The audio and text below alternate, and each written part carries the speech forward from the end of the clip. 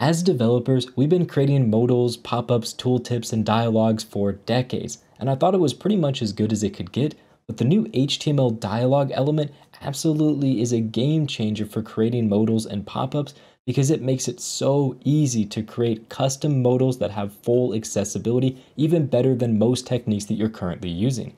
In this video, I'm going to show you exactly how this dialog element works, how to get the most out of it, and why you should start using it now.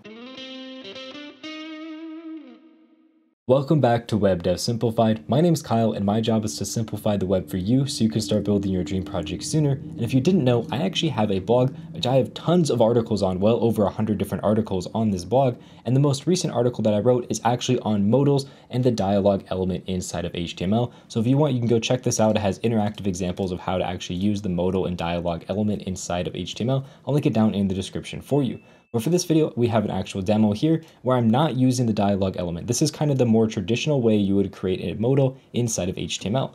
So if we go through the code, we have some really basic styles for our overlay, which is this darkening of our background, and this modal, which is this middle section here. Super straightforward styles, nothing really too crazy, just toggling between display none and display block, depending on if they are open or not.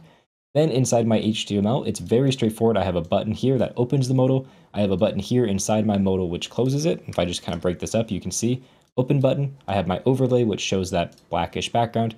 I have my modal here, and inside of that I have the button to actually close my modal. Super straightforward stuff here, not too crazy. And in my JavaScript, again, this is also pretty straightforward. I just have some selectors to get those different elements. And if I click the open button, I add the class open. And if I click close, I remove that class. So this right here is the traditional way that you would normally create a modal inside of JavaScript, HTML, and CSS. You may make yours slightly differently or make it look a lot better than mine, but this is kind of the standard way people do things. And there's a few things off the bat that are already not ideal with this solution. The first one is, is I have this random div for overlay, which is obviously not ideal. And no matter how you do an overlay, it requires you to do something with an extra element or a pseudo element, and it's just not ideal at all. Also, I need to make sure that I hide my modal by default and only show it when it's actually supposed to be shown on the screen. And probably the biggest problem with this implementation is you notice everything's working fine. If I click, I cannot click on this open button. But if I click tab, you'll notice I can actually tab right onto that open button. You can see I'm actually clicking that open button has that black outline around it. So I can actually tab right over that open button by doing tab and I can interact with my entire site by using tab, which is obviously not ideal. And if you don't implement things correctly, this is what's going to happen inside of your modals, but the dialog element takes care of all of that. So let me show you how I would actually write this using the dialog element. The very first thing that I would do is completely get rid of this overlay. I don't need it at all. And instead I can come here where I have my div and I can just replace it with a dialog element just like this. Super straightforward. So I can completely get rid of this overlay. I don't need it, so I'll get rid of it from my JavaScript and everything. And now here I have a dialog. It still has the class and modal. I'm going to remove that for now just so we can see what everything looks like by default. And that right there is all I need to do to create a modal, but I need to make sure I toggle my modal slightly differently. So instead of adding a class list, there's actually a function called show on your modal, and there's also a function called show modal. So depending on if you want this to be a dialog or a modal, you'll use each method interchangeable. I've kind of gone into depth on the difference between these two right here inside of my blog article, but the main difference you should know is that if you open up a modal, it's the only thing you can interact with. You can see I can scroll my page, but I can't actually interact with any of these buttons, and using tab only allows me to interact with the close button on the modal and nothing else on my page. If you use a dialog, I can still do whatever else I want on my page. It just kind of opens up like a pop-up or a tooltip, and I can close it whenever I want inside of here. That's the main difference between the two. So we're going to use show modal because that actually shows you a modal, and I'll show you the dialog one as well. And also to close it, you just call the close method. That's all you need to do.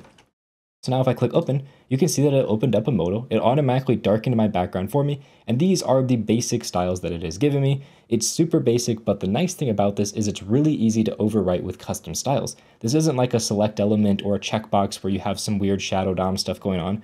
This dialog is just like essentially a div with a few custom styles added to it by default.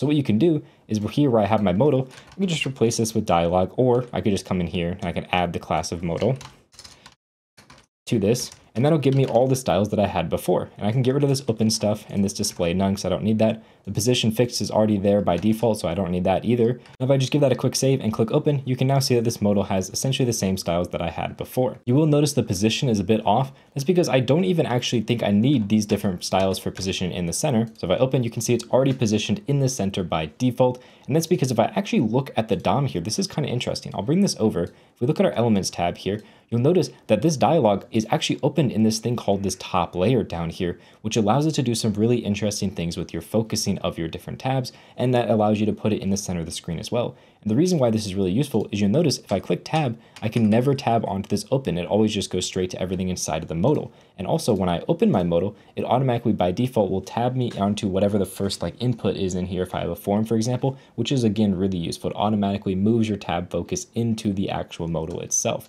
So if I just refresh this and I open this with my spacebar, you can see it's automatically put my tab focus right on this close button, which is great. Another really great thing about this dialog element by default for accessibility is if I have it open, I can click the escape key and it'll actually close my dialog for me, which is something that we would have had to build out ourselves with the other version. I didn't even have it built out. So it's really nice you kind of get all of these accessibility features by default and also takes care of all those different ARIA attributes you need to make sure screen readers understand what's going on. So really the important thing to understand with actually using a modal is it's very simple. All you do is you create this dialog element right here. You can give it some custom styling if you want, but in our case, I'm just going to remove that because we really don't need any custom styles at all. I'm just going to get rid of all of these custom styles.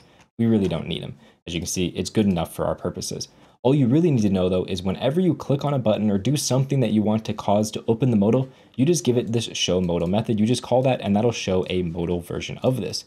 The other way you can open the dialog is by adding the open attribute to it. That'll cause it to be open by default, but this opens it in a non-modal way. It opens it as a dialog and not as a modal it'd be the same as if I called the show method instead of the show modal method. You can see when I click this, it opens it up as a dialog and I would need to add custom styling to position it exactly where I want relative to this specific element here. Now, one thing to note is that using the open attribute like this is definitely not advised. It doesn't give you all the same features as using the actual function version. So I highly recommend just call the show or show modal function depending on what you want to do. Now I mentioned earlier that the actual customization of the modals is really good for CSS and that's also true because you can customize the backdrop as well. If we go back to open this up as a modal, you'll notice that it gives a slight darkening to the background, but what if I wanted to change that? Well, what you can do is you can select a pseudo element called the actual backdrop. So let's get our dialog here, and we want to select a pseudo element that requires two colons, and this is called backdrop. And in here is how you define all your colors. So if I just say that the background color here is going to be RGBA Actually, let's do HSL. We'll do HSL 200, 100%, 50%, and we'll do like 0.5 opacity. Make sure this is HSL, just like that.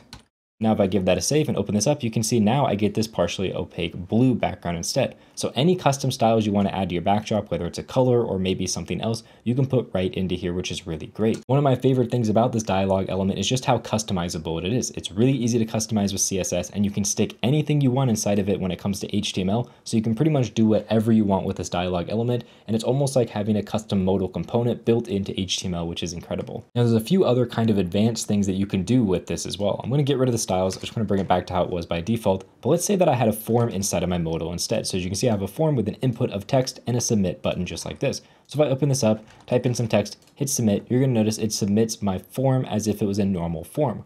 Well, what if I want to just make it close the modal? This is actually something that's built into HTML, which is awesome. I can just come up to my form and I can say that my method here is going to be dialog. And now what's going to happen is I can type in whatever I want, click submit, and it doesn't actually submit my form. All it does is close out of my modal. And when I open it back up, you can see I have the exact same input inside of here. This is super useful and I can actually listen to events in JavaScript for when my modal is closed and submitted with my form to determine what I need to do like saving my inputs and so on if I wanted to like update some user settings. You can even take this a step further where let's say for example I wanted to have a modal where if I clicked a cancel button it would cancel it or if I click submit it would submit it as if it was a normal form. So I would want to remove this method dialog here so it submits like a normal form and then I want to add in essentially a cancel button just like this. The problem with this though, if I click cancel, it still submits my form. I wanted to close the modal, but I wanted to also save the inputs and I don't want to have to, you know, worry about doing a bunch of JavaScript for this. Well, that's great because there's a way to do this built into HTML again. All you have to do is go into your button and set the form method. If you set it to dialog and you click save, if I open this up, I can type in whatever I want, click submit, everything is exactly like a normal form.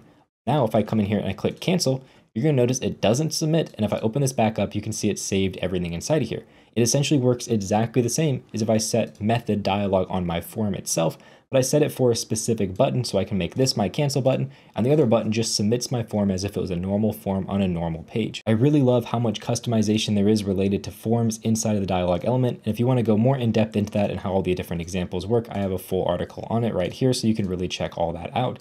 Also something to note is when you open this up, it automatically default puts your focus inside the input, which is just a great accessibility feature. Now, the only thing that the dialog element doesn't do that I really wish it did is let's say I open up a modal here and I want to close the modal when I click outside the modal. This is a kind of common feature with modals. Well, as you can see, I'm clicking outside of here and it's not actually closing my modal. This is not built into dialogs and there's no way to configure it to do this by default. So you need to write a little bit of custom JavaScript to do that. And here I'm just going to paste in what that JavaScript is going to look like. This is going to be our modal. We want to get our modal dimensions. There we go. And close it. So what this simple function is doing is saying whenever I click on my modal, run this function. Now the reason this works is because the backdrop is a child of our dialog. So you can see here inside of our dialog, the backdrop is a child of it, which means anytime we click on our backdrop or our actual modal itself, it's going to run this function. Then what I'm doing is I'm just getting the dimensions of my actual dialog element, the actual modal itself, and I'm checking to see, did I click within those dimensions? Or I'm sorry, did I click outside of those dimensions? If so, close the modal. So if I clicked outside of my modal, I want to close it. If I clicked inside my modal, don't do anything at all. So if I give this a quick save, open this up, and I click inside of here, you'll notice nothing's happening. If I click outside of here, you notice it's still not closing. The reason for that is because I have this close button here and it's breaking my code. It doesn't actually exist anymore. So now if I get rid of that, I come up here, click inside of here, you notice it's not closing. It's working just fine. Click outside, it automatically closes. So if you want to have that click outside feature, it's going to be this code right here. And if you want to copy and paste this, this is right on my blog article. You can just copy paste it straight from here. And I have a working example of it shown right here. So just go over to my blog article. It'll be linked in the description if you want to just copy this code. Now, if you enjoyed this video on the dialog element, you're going to love this video right over here, where I cover five plus different HTML elements that are all lesser known like the dialog element, which are going to drastically change how you write your HTML code. Also, I highly recommend you check out my blog. It'll be linked down in the description below. Like I said, I have tons of articles on there covering tons of different topics, and a lot of those don't ever make it to YouTube, so I highly recommend you check that out. With that said, thank you very much for watching and have a good day.